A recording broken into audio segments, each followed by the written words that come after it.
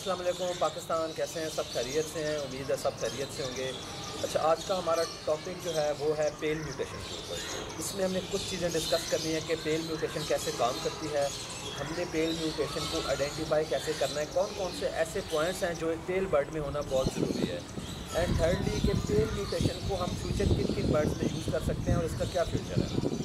सबसे पहले हम स्टार्ट करते हैं कि ये बर्ड कैसे काम करता है।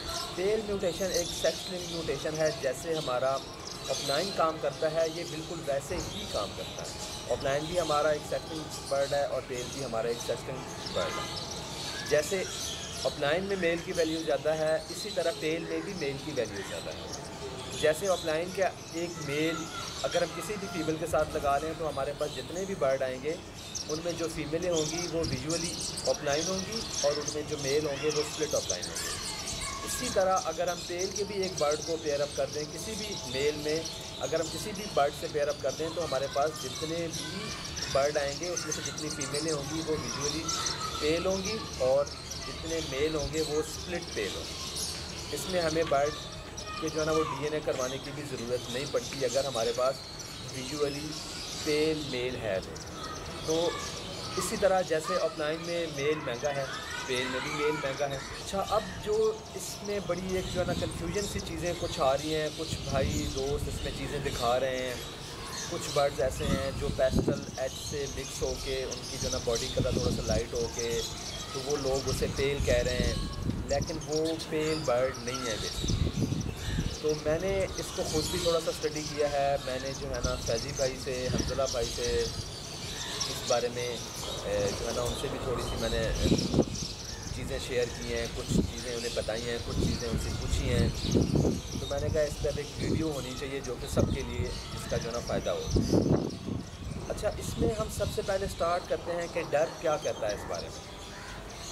वो ये कहता है कि कुछ पेल ऐसे होते हैं कि जो पैदा जब होते हैं तो वो रेडाइज होते हैं। वो ये कहता है कि जितने भी पेल पैदा होते हैं, वो रेडाई होते हैं। सॉरी कुछ पेल नहीं, जितने भी पेल जब वो अंडे से हैच होते हैं तो वो रेड आई होते हैं। वो एक दिन से लेके चार दिन तक रेड आइज़ रहते हैं। उसके बाद वो दोबारा ब्लैक आई हो जाते हैं। बर्ड लेकिन कुछ बर्ड्स पेल में ऐसे भी हैं जो ब्लैक आई ही पैदा होते हैं और वो बड़े होके भी वो ज़ाहिर सी बात है ब्लैक आई ही रहते हैं। तो ये जो है ना, दोनों सूरतों में पेल बर्ड ही है। अभी इस पर फ़िलहाल कोई ऐसी और रिसर्च आई नहीं है कि जी रेड आई में क्या है और ब्लैक आई में क्या है। तो ये दोनों बर्ड ही पेल ही हैं। इसमें कोई जो है ना कन्फ्यूज़न वाली बात नहीं है। अच्छा अब हमने जो है ना पेल को आइडेंटिफाई करना है कि कौन कौन से ऐसे पॉइंट्स हैं जो पेल बर्ड में होना बहुत ज़रूरी है।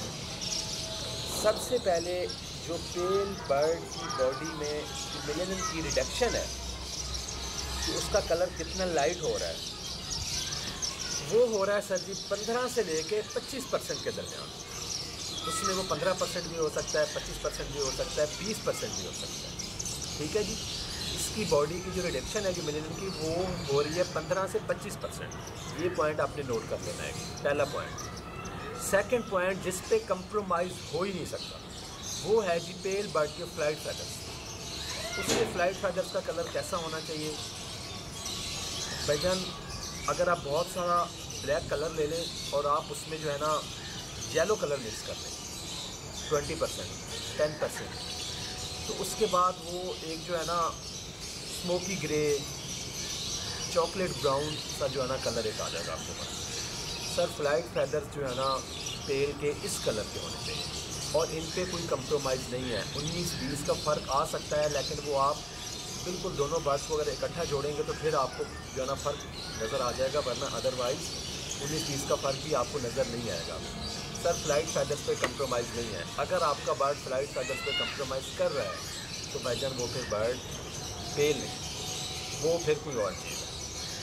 तो ये उसके जो फ़्लाइट फैदर्स हैं, ये पॉइंट बहुत ही अहम पॉइंट है कि उसके flight feathers smoky grey chocolate brown या डार्क चॉकलेट कलर के होने चाहिए। ये मैंने आपको तीनों कलर्स बता दिए हैं। मैं आपसे वीडियो पिक्चर्स भी एंड पर शेयर करता हूँ सब। अच्छा जी थर्ड पॉइंट भी बड़ा एक जो है ना, थोड़ा सा लोगों के लिए कन्फ्यूज़न पैदा कर रहा है और बड़ा अहम पॉइंट है कि पेल बर्ड के नाखून और उसके पाँव का कलर कैसा होना चाहिए। सर देखें उसमें जो है ना दो चार बंदों से बात हुई है।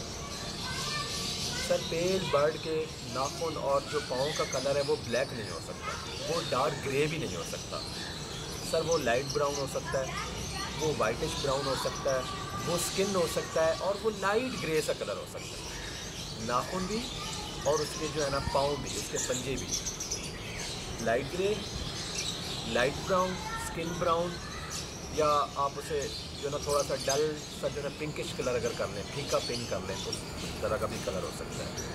सर इसके पंजे और पाँव ब्लैक नहीं हो सकते। अगर वो ब्लैक हैं तो आपका बर्ड फिर पेल नहीं है। या अगर वो पेल है तो फिर वो जो ना प्रॉपर फीचर्स के साथ वो बर्ड पेल नहीं फिर वो क्वालिटी भी कितना ना किधर कंप्रोमाइज़ हो रहा है, उसकी म्यूटेशन में भी और उसकी क्वालिटी में अच्छा इसके बाद एक और थोड़ी सी जो कन्फ्यूज़न इस वजह से हो रही है कि कुछ जब पेन के बच्चे सेल्फ हो रहे हैं तो उनके पाँव के कलर ज़रा ब्राउन सा, उनके पंजों का कलर थोड़ा सा अगर डार्क है तो सर जी वो मोल्ड होने के बाद या मोल्ड होने से पहले जैसे जैसे वो बड़े हो जाएँगे, उनका colour light skin light pink सा और लाइट ब्राउन सा या बिल्कुल लाइट ग्रे सा सर जी वो कलर चेंज होगा और 110 परसेंट चेंज होगा वो कलर तो ये कुछ पॉइंट्स हैं, मैं आपसे वीडियोस भी शेयर करता हूँ। अभी आप ये देखें, उसमें बर्ड से कुछ बैक फैदर्स भी आपको नज़र आएँगे और उनके जो ना, आपको पंजे भी नज़र आएँगे। मेरे अपने बर्ड से, मैं उनको असल में दिखा नहीं सका क्योंकि बर्ड ज़रा लेंग पे थे तो मैंने उनके मेल्स बस पकड़ लिए हैं।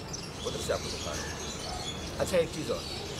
क्योंकि ये सेक्सलिंग म्यूटेशन है, आप पेल टू पेल भी पेयर अप कर सकते हैं, इसमें कोई ऐसी टेंशन वाली बात नहीं है। कोई ब्लड लाइन वीक नहीं होती। कोई ऐसा चक्कर नहीं है, आप इसको इजीली ब्रीड करवा सकते हैं पेल इंटू पेल अच्छा जी, अब थर्ड पॉइंट हमारा ये है कि इस म्यूटेशन का क्या फ्यूचर है?